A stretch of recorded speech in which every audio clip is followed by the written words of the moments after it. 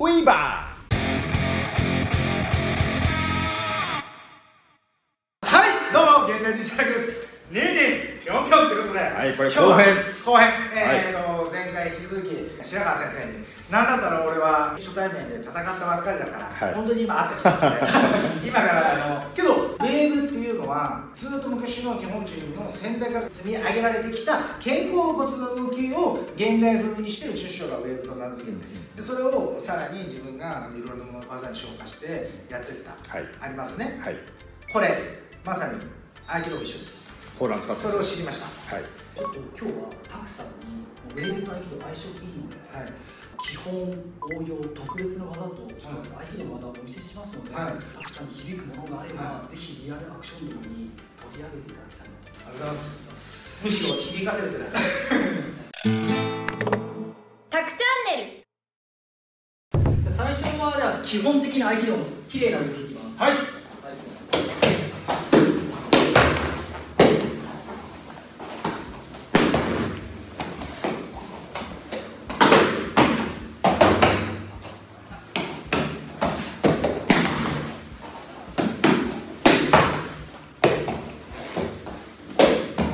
お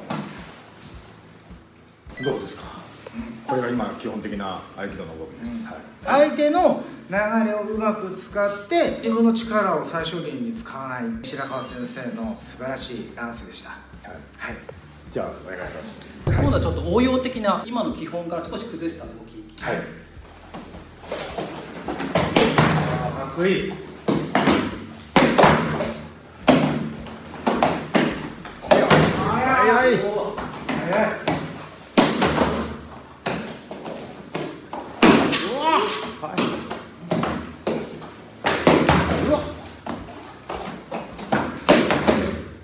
うわおこれちょっと応用的なはい響いてきました。さっきのだと響かなかったんですけど今どんどん響いてきました。あ来ましたか？はい。はい。じゃあ最後ちょっと特別な、はい。はい。本当普段やらないんですけど、はい。はい。これカウンターで返してそして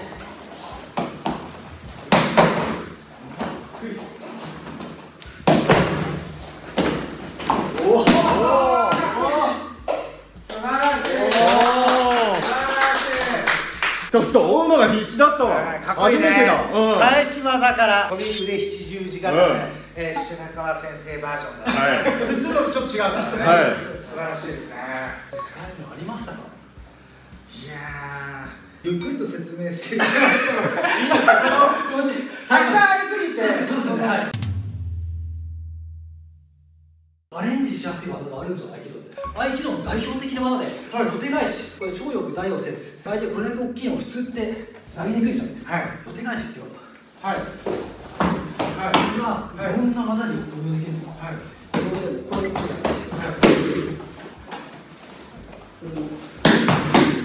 いろいろ小手返しってすごい利点があってはい。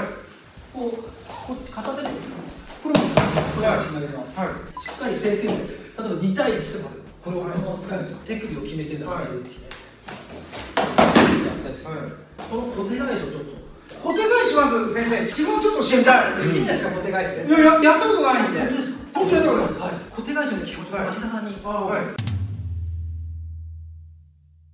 まず持つところは、はい親指を抜いて、はいこう一本手の、はいそして4はい小手、はい手首のことこう剣道で返すはいはいそれをこうここ回るはいとにかく返すのが痛いんですけどはい。その中でここから返す。おう。丸く返すと痛くなく落ちますよ落ちますよはい手。の感じに返すんですけどこれはもうね身体上効きます、はい。それをこうこういう感じで返してください。そう。そうそうです。これがこの返す方向が倒す方向ですからちょっと変えれば今度こっちになります。はい。そう。そう。そうそうこそして持ったら相手の端を取りたい、はい。だから転換ですこれ回る動作。はい。回ってからはい。今度はい。からはい。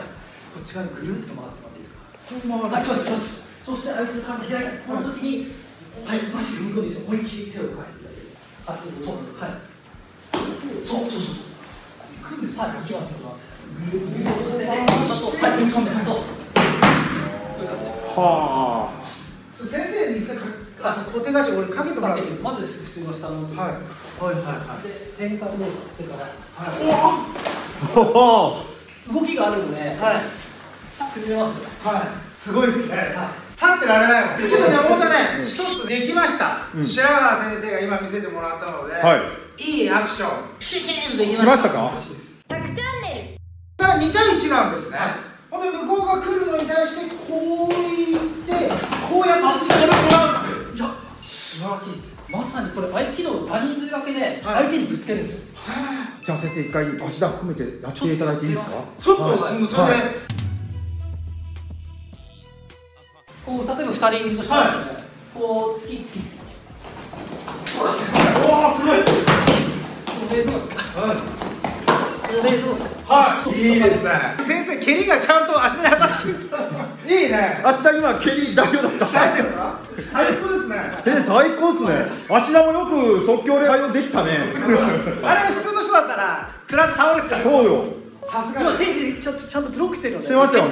じゃあパチンってしたの今。手だったんですよああよかったよ。かった。でも相手をぶつけるっていうのは戦闘術もそうじゃん。そう。ぶつけるのがかっこいいなと思ったんだけど、先生また超えてきちゃって、あの学ぶつもりがどんどん先に行っちゃうから。思いついちゃ思いついちゃった。2 1で戦ったら思いついちゃう。先生が思いついちゃった。いやでもでも先生。うちの坂口はいテンション上がってきました。ありがとうございます。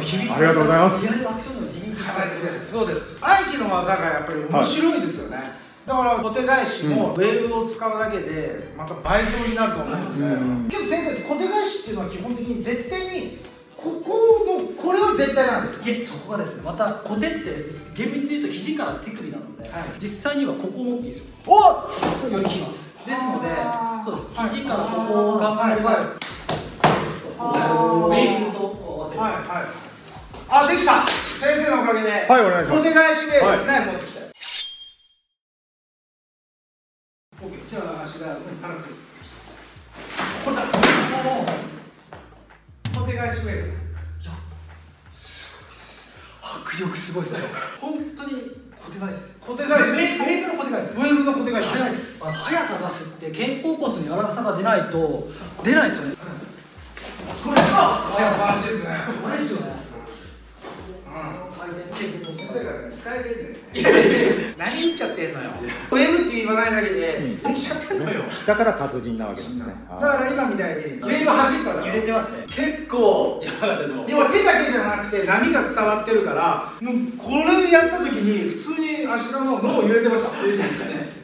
でもその受け身取れば多分揺れないあそういうことなんですよ。だから達人の方はみんな回るのよ、うん。波を逃がしていかないと危ないの。よ一つちょっと見たいのはあの銃ディザーム的な感じで銃持ってのあれをちょっとやってほしいんですけれども。それは銃の小手返しそれ使えます銃見せますか。はい。あのシンプルなんです小手返し手首返せばいいだけなんですけど、抜き方が入り身っていうんですけど、はい。入り身使うプラス膝抜き膝抜きが入ります。そうすると入りますまだこれこういう状態。はいはい。はいはい？はい。小手返しがかっこいスティーブン・セガールじゃないセガセガールやりすぎるとセガールになっちゃうからセガールもだけどもともとはもう合気道の達人だからそうですけど似てるね無刀取りとかで使うあの？いい意味と似てるん、ですねそう、はい、合気道合気道無糖で近いです、入りに、はい。だからいいって先生こっちに入るんですよねあ、それ転換になっては、入り身はこれだけです。はい、はい、片側。もう、ど、どちらもいいです。はい、さっきのだったら、そこから、ここから落とします。落とす落とすのが難しい。これ簡単なようで難しくて、武器持ってると、ここに緊張が必ず。はいありますねその緊張を狙って、打たれるんで転換をしてしまうと、動作が遅くなるので、いはい膝抜き。こういう腰を切るんですよ。右から膝抜き。膝抜きそこで下に置きます。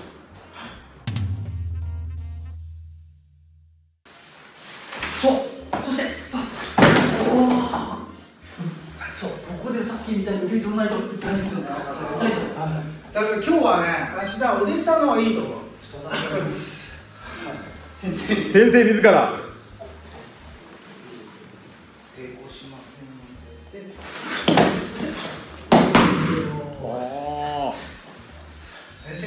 贅沢だな。贅沢だね。もっと早くですもっともっと遠慮しなくて。たくさん遠慮が感じたのでもう一回1分素晴ら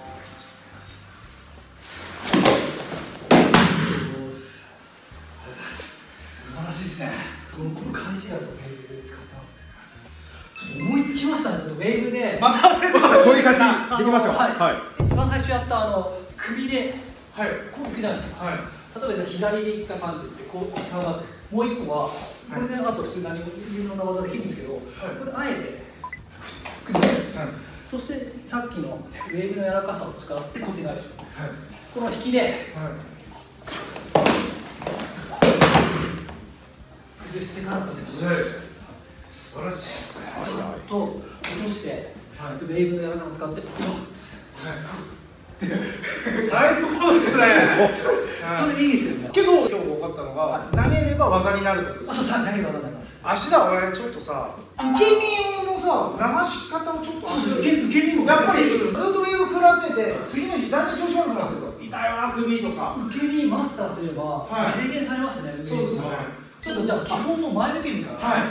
後頭部打たないのが一番大事なんですよ、後頭部ですから深くはい。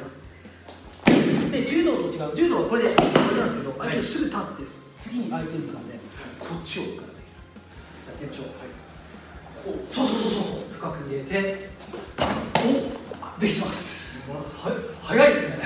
早いです。あと反対側。反対も投げられるかもしれない。同じです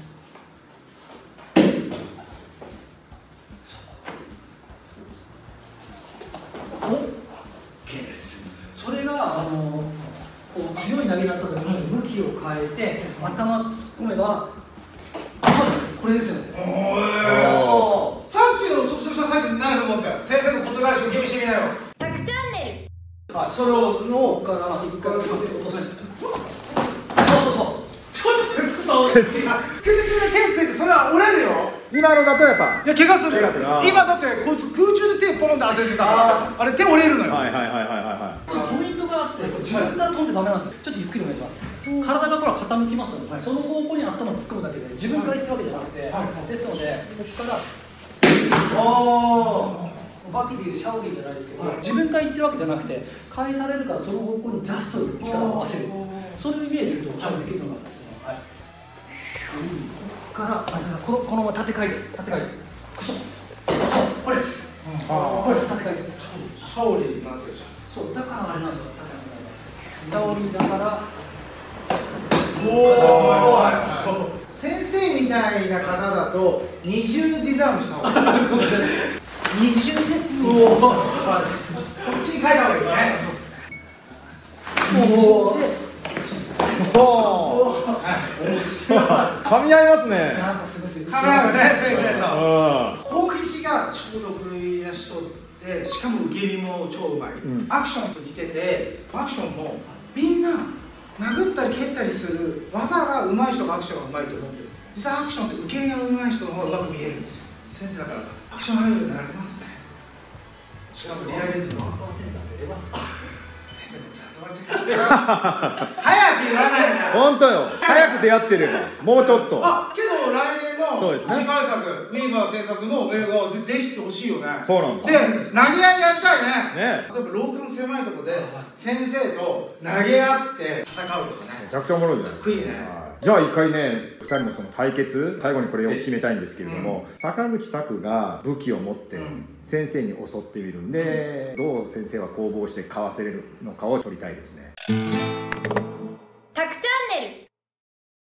拓ちゃんねこれ今からあの決戦が始まるわけだけれどもおおもちゃだよね。そうですタクって書いた僕のいつもナイフの練習する時のん。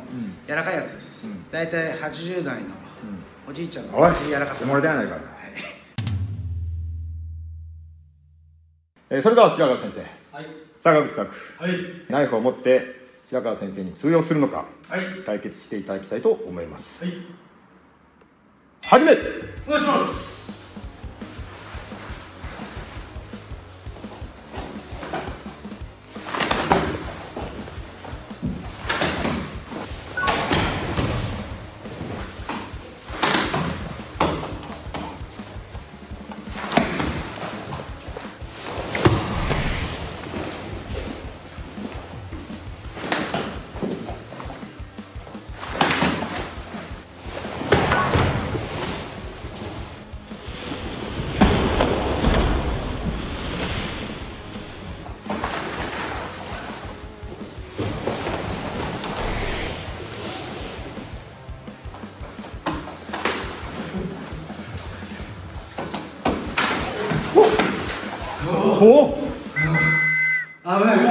今小手返しかウェーブで逃がされました。今こうこう取って普通だったら危なかった危なかっもうウェーブで流されました。いや僕あの掴まれた瞬間もう坂口終わりと思いました。いやちょっと普通の人だったら簡単にできたんですけどウェーブで早っ。えでもいやもう刺されてました。たいや。けどあの深く入ってたら先生の手はい。がちゃんと入って流はされてるのは分かるね。引きがあ早いので一応当て身こう当て身入れてたんですけどはい。当て身普通固まるんですけどもはう慣れてるからちょっと固まらないですね。いやでもタクちゃんのあの攻撃も先生反応してませんでした？そうそうそう。やっぱりねすごいね。最後は掴まれちゃったから。あもうあれはもう負けだね。いや掴まれた。いやもう刺されてました正直でも取れるかなと思います。はい。あの坂口の投げれるところが。刺されてます。多分登録者の人もこの攻防なかなかお目にかかることなんてまずないじゃないですか。これはないじゃない。こんなこびっくりしたと思います。こんな挑戦をね、はい。受けてくれた白川先生にね本当に。こんなのはありえないんだからナイフを持った人間と戦うなんて、はい。しかもナイフ手術やってる人間と戦うなんてダメだから。それが一番映画のために特訓して長けてる技ですかよね。けてる技があるんでそれに戦わせるとはよくないです。ありがとうございます。けど本当に贅沢な。無謀な挑戦ありがとうございました。本当に はいということでこのチャンネルがねいいなと思った方は皆さん高評価ボタンよろしくお願いします。そして白川先生のチャンネルをもう一回やってるので皆さん見てください。チャンネル登録よろしく